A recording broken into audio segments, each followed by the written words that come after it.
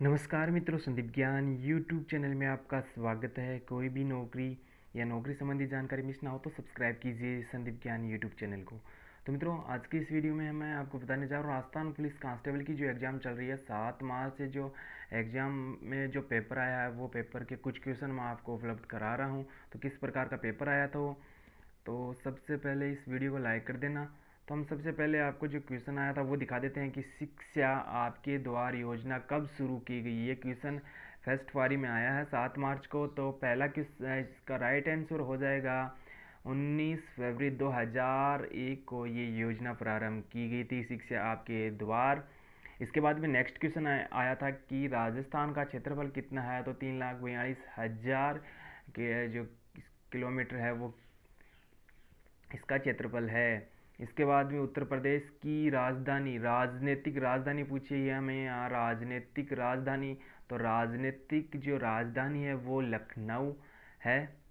उत्तर प्रदेश की, इसके बाद में राजस्थान नहर का नाम परिवर्तन, इंदिरा गांधी नहर कब रखा गया था?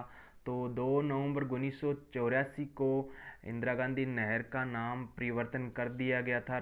पहले इसका राजस्थान नहर नाम था इसके बाद नेक्स्ट क्वेश्चन आया था, रक्त का थक्का जमने के लिए विटामिन सी का प्रयोग विटामिन सी फ़ायदेमंद है। इसका राइट आंसर हो जाएगा सी रक्त का थक्का जमने के लिए विटामिन सी का प्रयोग किया जाता है। इसके बाद में नेक्स्ट क्वेश्चन आया था, विधानसभा सदस्य की आयु क्या होनी चाहिए? न्यूनतम आयु हमें यहाँ पूछी गई है तो 25 ईयर्स इसकी न्यूनतम आयु होनी चाहिए। विधानसभा सदस्य की इसके बाद में नेक्स्ट क्वेश्चन था राजस्थान में विधानसभा की कुल सीटें की, विधानसभा की सीटें तो यहाँ 200 इसका राइट आंसर हो जाएगा। इसके बाद में नेक्स्ट क्वेश्चन आया था राजस्थान का क्षेत्रफल भारत के क्षेत्रफल का कितना प्रतिशत है? यहाँ हमें प्रतिशत पूछा गया है तो हम बता देंगे दस पॉइंट चार एक प्रतिशत राजस्थान का क्षेत्रफल हो जाएगा प्रतिशत में।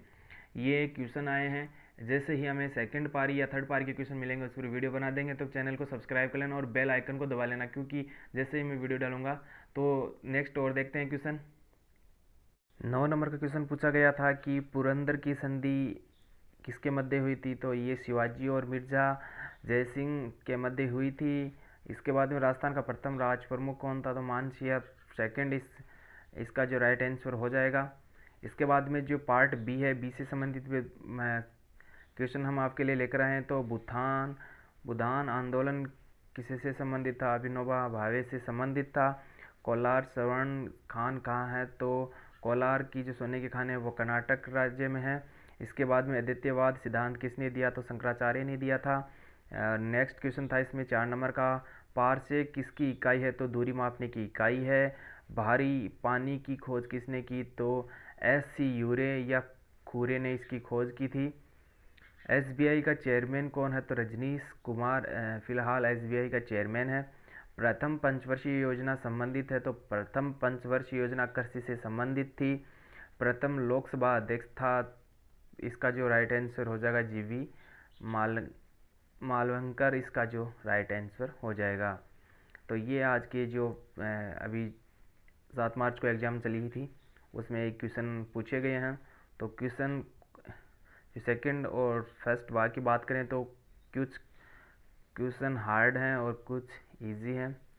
तो आप देख सकते हैं फ़िलहाल ये क्वेश्चन आए हैं। तो ऐसे ही पे, पेपर पाने के लिए चैनल को सब्सक्राइब कर लेना।